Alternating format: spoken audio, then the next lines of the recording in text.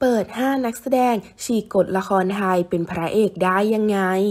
ถึงเวลาที่ละครไทยจะพลิกประวัติศาสตร์โฉมใหม่ให้กับวงการจอแก้วอีกที หลังจากที่เราเจอแต่บทเจ้าชายขี่ม้าขาว หรือคุณชายในวังแสนสุภาพ ปลอบประโลมหัวใจสาวๆ อย่างทนุถนอม มาวันนี้ 3 ละครดังขอพลิกโฉม character พระเอกแบบใหม่ออกมาท้าทาย ให้แฟนละครติดตาม งานนี้ต้องยกต้นตำรับให้กับละครเมื่อหลายปีก่อน ที่ปานเคนธีรเดชให้หลุดจากผู้ชายมาดอบอุ่นทำให้ละครสวรรค์เบี่ยงทำเรตติ้งพงทารุมาถึงยุค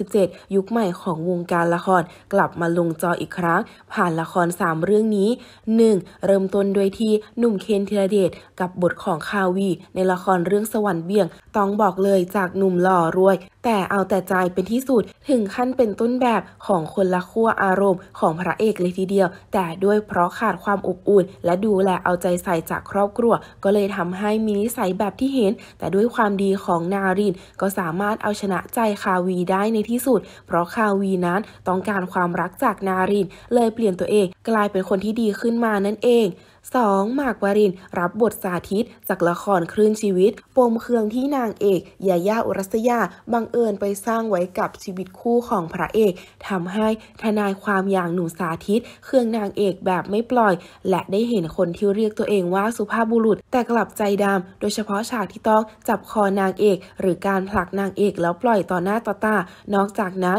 ยังมีคำพูดที่คนดูไม่อยากจะทน 3. อีกคนที่เข้าลิสต์เกิดเป็นน้องชายต้องใจแข็ง คือหนุ่มเจมส์จิรายุ หรือราเมศจากละครเรื่องบวงหง ที่จำใจต้องผลักสายให้นางเอกใช้ต่าง โดยการไปเป็นพนักงานเสิร์ฟในโรงแรมของตัวเอง เพื่อเป็นการสั่งสอนพิมพ์ลพัฒนางเอกของเรื่องที่รับบทโดยคิมคิมเบอรี่ งานนี้พระเอกของเราต้องใจแข็ง ใช้งานนางเอกหนัก นางเอกก็เข้าใจผิดต่างๆ นานา ว่าคนเราจะต้องไม่ชอบกันขนาดนี้เลยหรอ แต่สุดท้ายความหวังดีก็คือความหวังดี นางเอกของเราก็กลับตัวกลับใจและเข้าใจใจความตั้งใจจริงของพระเอก เป็นที่สุขสาร 4. วินลี่แม็กอินทอชกับบทสะดมจากป่ากรรมเทพ สามีสุดมากเสน่ห์ของป๊อกปิยธิดา หรือลำพอด ที่ตอนแรกเจ้าตัวก็มากเสน่ห์อยู่ดีๆ ฝั่งภรรยากับไม่ขอทนกับพฤติกรรมนี้อีกต่อไป ลุกขึ้นมาปกป้องสิทธิ์ของตัวเองบ้าง บอกเลยว่างานเข้าชัดๆและสำหรับละครเรื่องนี้ ก็ไม่รู้ว่า